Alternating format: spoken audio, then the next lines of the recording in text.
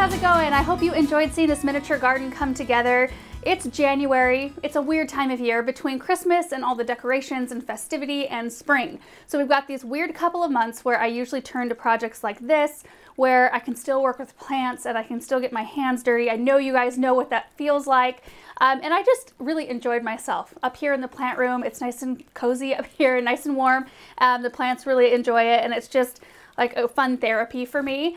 When I initially set out to create this garden, I told Aaron I want to make a woodland miniature garden. And I did not attain that with this project. It kind of, and I don't know if your projects kind of do this, but they take on a life of their own and they kind of just go the direction they want to go sometimes. And I did still use some of those earthy elements I was going to incorporate anyway, like the pine cone, there's some acorns and stones, and I went outside and gathered up some leaves from underneath our locust tree to use as kind of like a, a little mulch on the ground like you would see out in nature. And there is some moss as well. But I used all house plants, so I think we should probably call this like a miniature house plant garden.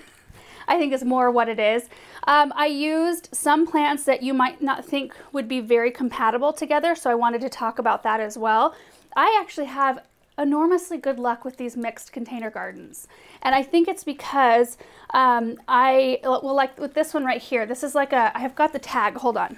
It's called a monkey cup plant. I thought it was a pitcher plant. I don't know if that's the same thing or not. I don't know a whole lot about carnivorous type plants, but this is the only one that really wants to be a lot more moist than any of the other plants in this garden. So what I did was it was in a little plastic pot, so I cut the lip off the top of that pot because it's usually just kind of a little bit of extra plastic that is hard to hide.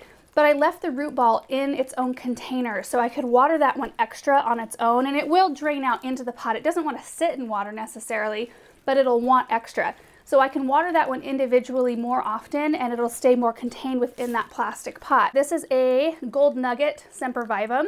Um, excellent house plant. You can see that it's got its winter color. I went and got that one out of the greenhouse. Greenhouse, so it will probably lessen in color a little bit, which right now it's beautiful, beautiful color, but I think it'll probably go with the vibe of this whole container if it's a little bit more muted.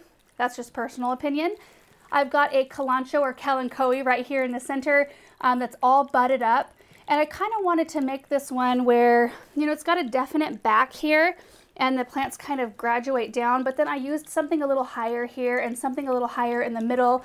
So it was a little bit more like it was a little bit more haphazard like you would find in nature. So back to the watering, I just use a watering can like this one right here that's got a really nice tip that directs water exactly where you want it to go.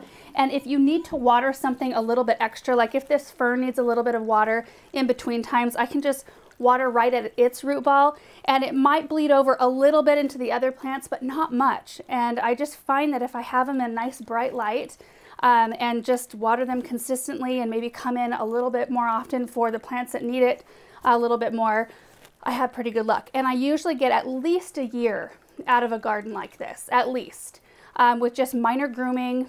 And usually I don't have to pop anything out. But at about a year's time, things are wanting to, you know, spread their roots out a little bit more. They need more space, so I'll kind of deconstruct. Sometimes I will deconstruct before that because I just enjoyed putting these together so much that I could just take this all apart in a month and do something new with all the plants. So you just never know. Um, I did put a little fox in here, but I wanted to show you because this is what I thought for the woodland garden. I wanted to show you how cute, oops, this little fairy is in there. So you can really change up the flavor of your garden with just one little piece. Let me show you this one. I think she's really cute too in there.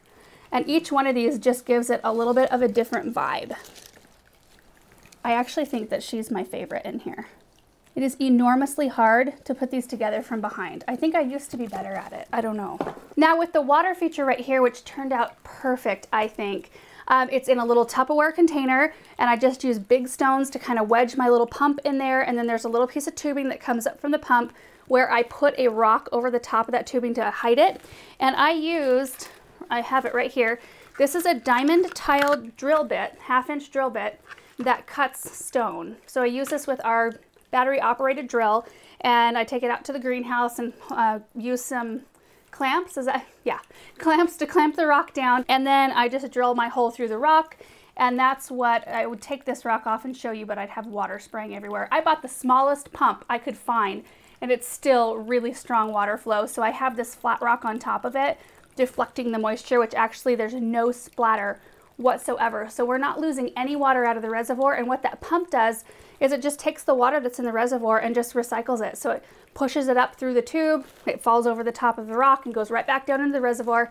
It's just a recycling process. That's pretty much it. Uh, I think I've talked about most all the things I see in the comment section as like posed as a question that I can think of anyway. So if you think of any other questions, feel free to leave them in the comment section down below. We've been doing Monday recap videos where I answer questions from the previous week's videos and it's been really, really fun for me and a way just to uh, answer questions like for everyone because I think if you ask the question, there are more people who wonder the same thing and maybe they didn't write it. So it's really, I think, helpful. I'm hoping for you guys.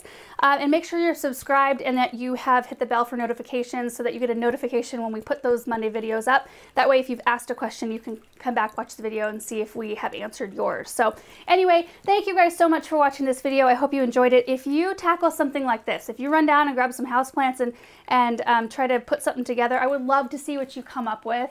Uh, because right now, like I just want, I want to see it all and I want to plant it all. So I would love to live vicariously through your creations as well. So tag me on social media if you do that.